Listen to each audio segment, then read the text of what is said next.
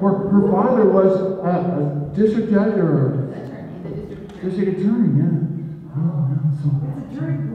Yeah. So come on, help me welcome Cody Phinney. Phinney.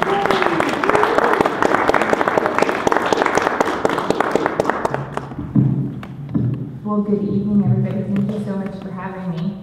Uh, yeah, my dad's not the district attorney in my county for some time now, so you can't hold any of that against him or me. Um, so yeah, I was the performance improvement person both in Carson City and at NAMS, and um, I was a clinical program planner in Carson City, and I remain the agency director at NAMS. That's still the case.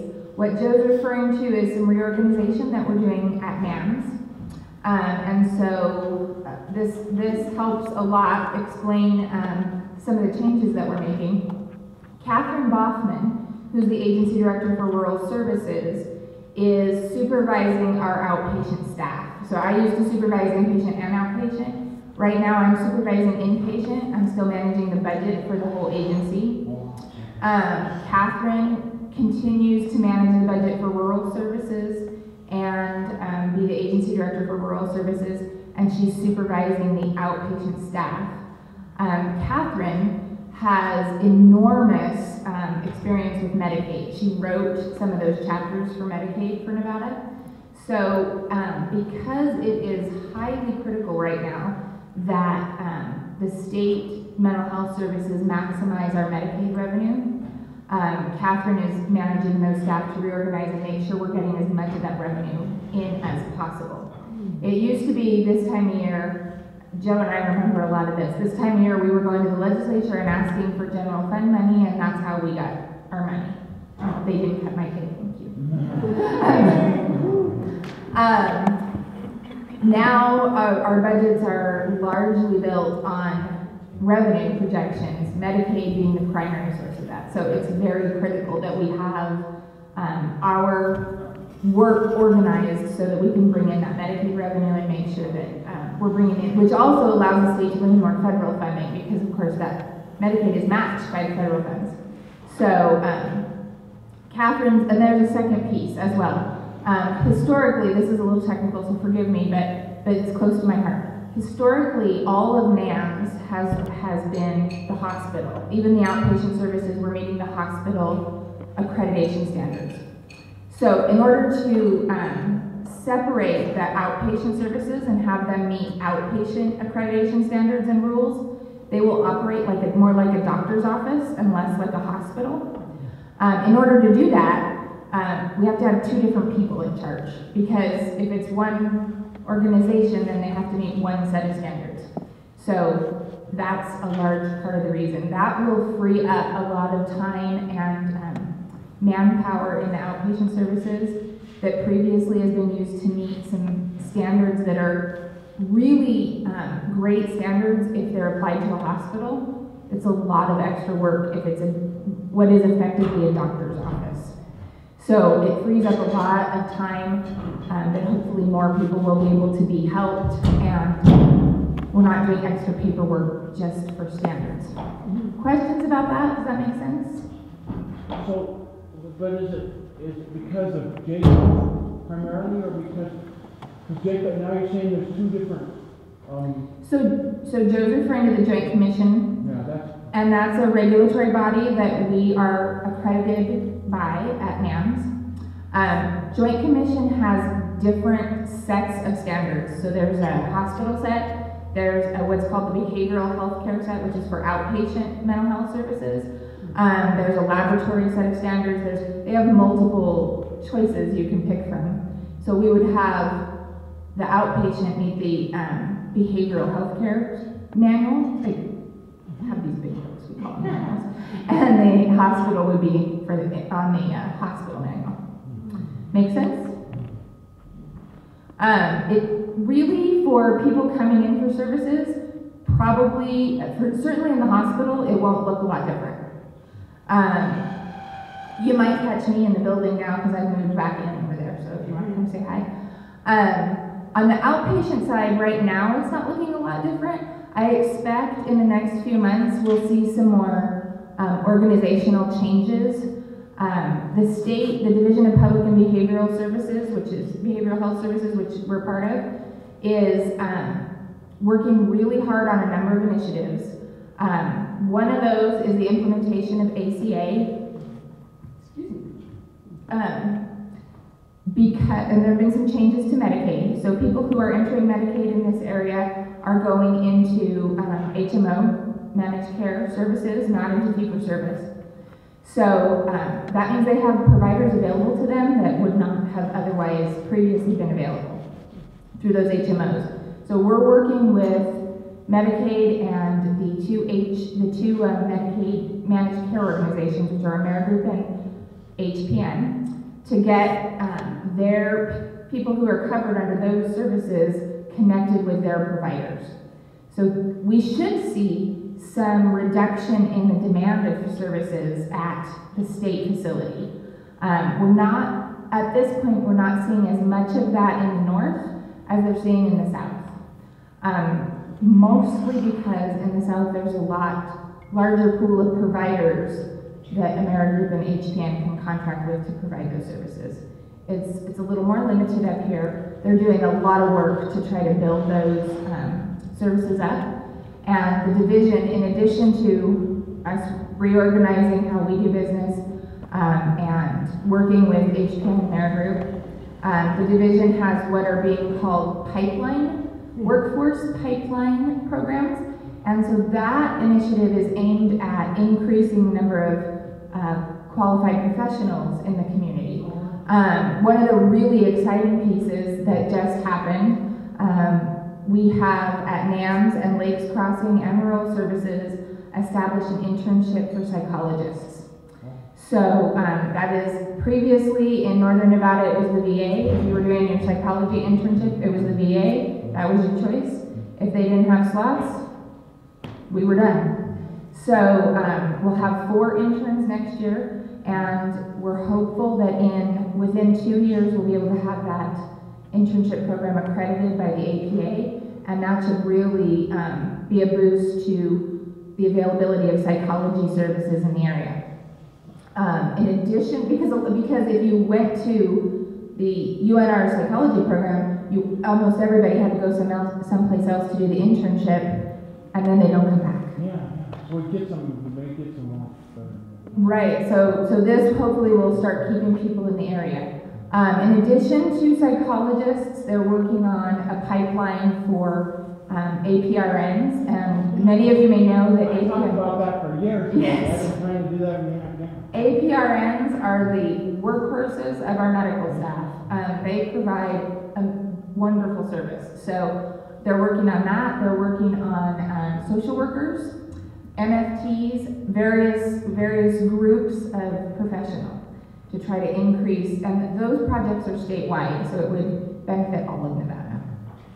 Um, Another major initiative that the division is supporting with partnership from the Children's Cabinet is the planning and implementation of the RAISE model statewide. This is a model that SAMHSA supports for the early identification and intervention of um, people who are having a first psychotic episode.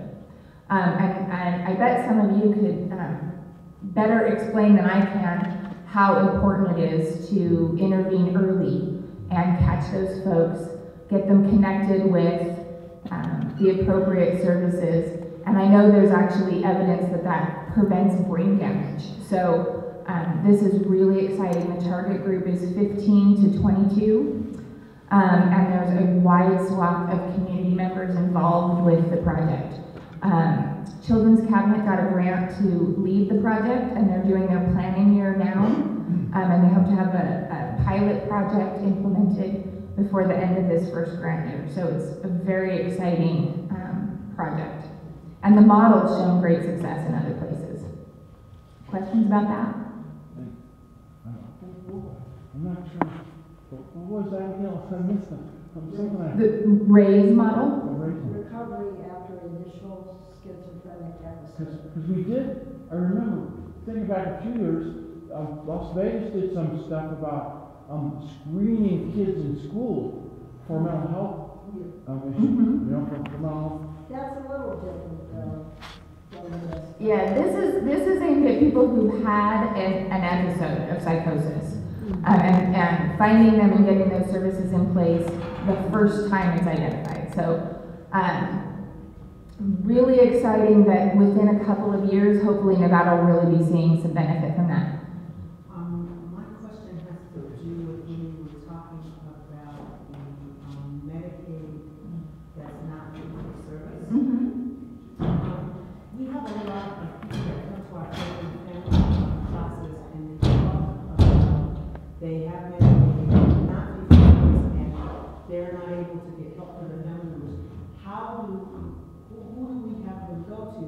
Who's the, where would we find this pipeline or, or whatever? That's why they're calling it To- to share pipeline. It's gonna take a yeah, while. to Well, share with them Okay. how they're gonna get help for their family members, because there's a lot of people now, they said that when they were talking about the, uh, insurance and they were, uh, getting set up for it, Mhm. people did not tell them to get fee for service. They told them about America.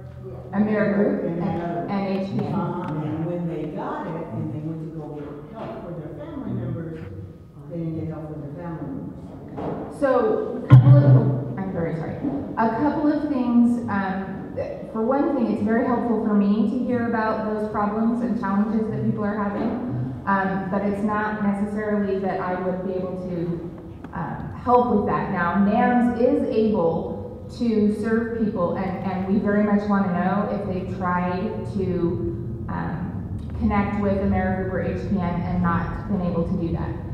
Um, the second, the second group, and, um, I should have brought it with me and I didn't, is Medicaid itself, which is in Nevada is the Division of Healthcare Finance and Policy. They need to know that their service providers are not, um, meeting, the- not being able to, to meet those requirements, or those Um, needs.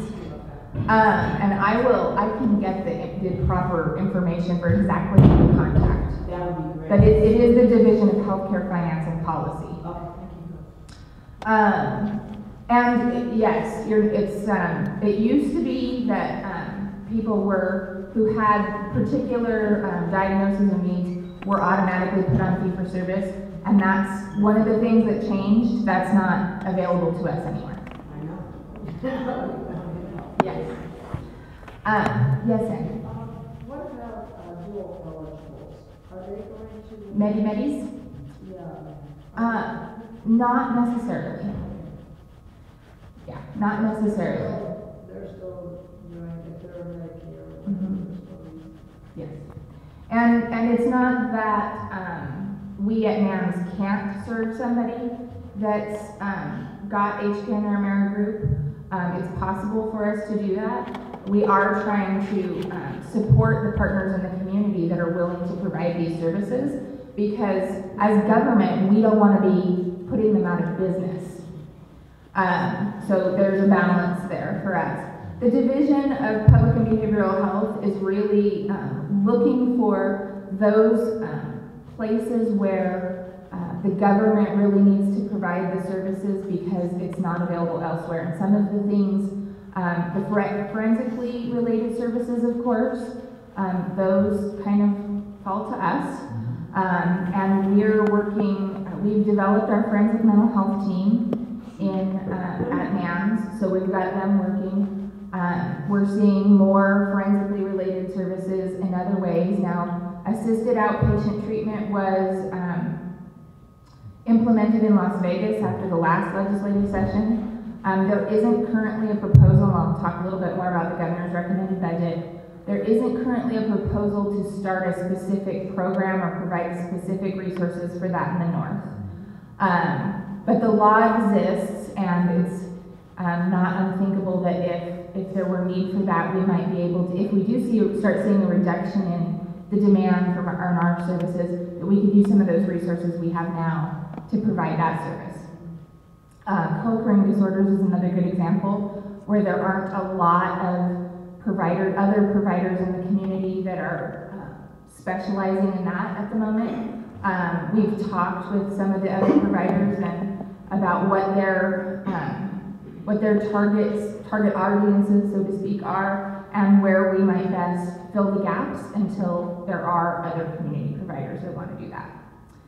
Um, yes, Are you talking uh, about the evidence-based practice of the integrated dual diagnosis treatment? yes. Yeah. Yes, um, and the division is working towards a more, um, co-occurring capable setting even within ourselves. We have some, some services, um, they certainly have room for improvement, and we're working on that, and led a lot by Dr. Woodard, if you know Stephanie, okay, so.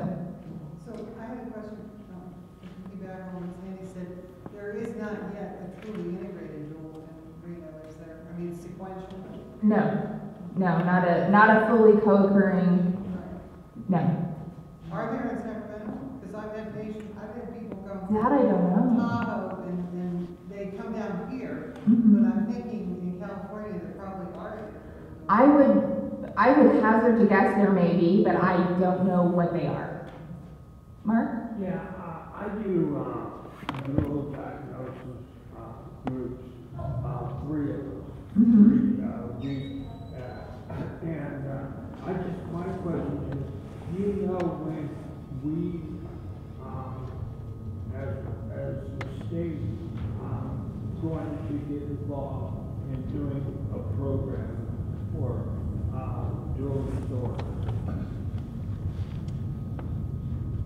Um, so we have the program you're We have- talking about. We have program. some We have, we have. places, a pieces in place. Yeah, it's a process program. Right. And it's like you, but, but it's not, it, it, it's, uh, it's, uh, not a, a program that's presented from the state. Oh, Yeah, he reads, he reads the DRA. Yeah. Oh, Yeah, okay, yes. Um, the state, I can't tell you a date, Mark. I can't tell you a date right now. Um, but part of the reorganization that Catherine's working on and some of the things that Dr. Woodard is working on with her are about, um, making sure that we're maximizing the resources we have available currently. Um, and that really gets to the, I really, I, governor's recommended budget was the first thing on my list, and maybe it would help a lot if I covered it. So the governor's recommended budget was released in January. Um, for NAMS, what the recommended budget, and that's public, what is in the budget for us here is, um, some very modest increases based on caseload. I know I just told you that we're working to try to get, to try to reduce some of those caseloads. Um, but the way the budgeting process works, we have to use the data that's available to us at the time, which is about six months ago when we developed this. So at that time, our caseloads were going up, so we have some very modest, um, increases requested for resources in our outpatient services, which translates to, we requested a few new staff in outpatient. Um, the hospital would not grow, it remains thirty beds. There are no reductions in the governor's recommended budget. So there would be no layoffs, no, um, there've been a few rumors, you guys can help me tell everybody. No, nothing in that budget recommends any reductions for us. Um, there is that expectation over time that, um, we will pay for that budget by collecting revenue. So that's what it's based on. And it, it continues, so it was more like that this last two years than it's ever been before. And that gets even more so in this budget for fiscal years sixteen and seventeen. So, um, really critical that we are being efficient and effective and maximizing those, um, services that are reimbursable. Do you know why they, th- there's no increase in beds? And the only reason why I'm asking is because for the last two times that my son was placed in NAM, first time he spent four days in St. Mary's waiting for a bed. Second time he spent three days and we're now waiting for a bed. Yeah. Why is there only thirty? I do know why, and um, it's it's there were several years when uh, NAMS ran with very few patients in it, And over the last two years, it's been very um, consistent that we have a small number of people, small compared to Las Vegas, number of people waiting in the ERs on a daily basis. This morning it was 16. Um, we're the public hospital that receives patients for every emergency room north of Tonopah. Uh, we're the only public psychiatric hospital for all of those emergency rooms. So, um, there's, they're having, and the reason there isn't an increase in this budget for, in NAM's beds Yes. is that there are um, other psychiatric hospitals uh, in the community that have expressed interest and are willing to provide that increase um, if it's necessary. So, uh, West Hills Hospital and Carson Tahoe Hospital, and maybe at some point some of the other um, acute care hospitals might be willing to open psychiatric beds. Um, and again, the government doesn't want to be competing with those um, providers. We want to provide the services that can't be provided elsewhere. Now, what the state's done to help with that solution is, again, changes to the Medicaid process. And so the rate that hospitals can be paid, and an acute care hospital can be paid um, at a certain rate by Medicaid, and that rate has gone up. Now, my hospital can't get paid by Medicaid directly because we are an institute for mental disease. And other freestanding psychiatric hospitals, unless you're attached to like a Renown, you can't get paid because we're excluded in the Medicaid, the Social Security Act. Um, we can make an arrangement with those um, MCO companies, Amerigroup and HPN, to get paid for those inpatient services. Um, so the goal is, and we're having a lot of talks with Carson Tahoe and um, West Hills and others, and they're taking more of those patients, um, and we're working through with with them about um, how to best manage some of the, you know some of the folks that, for example, they may not have had that population before, and um, and we're making progress. But I agree with you. Um, it's not ideal, obviously, for anybody to wait in the ER. That just seems unacceptable. That is absolutely not our goal. And, uh, but I do know, Cody, I've heard just, just tonight, somebody who was diagnosed, or was down on Record Street, found her way down to Carson, and I'm not sure how she got down there, but she was seen at Carson Tahoe and had a, uh, six, seven day stay at Carson Tahoe, so. Well, and the community's coming up with some really good solutions as far as, you know, one of the challenges is transportation. Um, even for, uh, the, the uh, Rural Hospital Association has been really great about working with us on, um, ways we can use technology to help with these things. We're working on a project with them now about, um, formulary so that, um, their hospitals in the rural areas can have the medications, the, the most, um, used medications on hand, um, rather than just a couple of, you know, kind of Haldol and, and not much else. Um, so that they're prepared to help right from the beginning and maybe prevent somebody from having to come to another community and, um, you know, that can't be a very wonderful experience. Um, so a lot of solutions are coming up in this, but um, I agree with you. And, and one of the things that I'm really grateful for about this reorganization um, that allows me to focus on inpatient is that gives me the time I need to focus on, um, you know, these folks have been here an awfully long time. What resources do we need so that they can graduate from the hospital and we can get those people from the emergency rooms in? Because, So- because some will just walk, some will just leave, you know, Florida psychotic will just, you know. Could happen. Um, and some of the other hospitals are, like I say, West Hills is, has empty space, they've expressed interest in using it. Um, some of the other, uh, facilities are interested in expanding, so it's, it's an exciting time, and a lot of solutions are really starting to break through. But it's, um, also a challenge because, um, the way I've always known us to do business and the way many of us have known NAMS to do business, it has to change quite a bit. So. Um, other things in the legislative session, there is a bill, or two bills, AB thirty-eight, and SB seven are slightly different versions of, maybe, maybe you guys know more about this than I do. Slightly different versions of changes to the legal two thousand process. Um, that would change a little bit who can initiate and who can, um, decertify, uh, the, the legal two thousand hold. Um, particularly physician assistants being added, but there are some other, um, other minor changes. Neither of those has passed yet. Um, they're, they're, and they're winding their way through. They have been heard in committee. Um, if they don't, SB seven had passed through a committee, so that gets it through the first deadline. So it's, it's got a little bit of traction, so we're, we're still watching carefully to see how it goes. And, uh, And uh, Teresa Benitez, Assemblywoman Benitez spoke to us about it, and, and she said it would be for, um, nurses, but I wasn't sure it was advanced practice nurses, to be, you know, uh, able, able to, to do, uh, legal, know. Yeah, it includes nurses, the RNs, um, and I'm sure Mrs. Benitez Thompson was much more eloquent about an assembly bill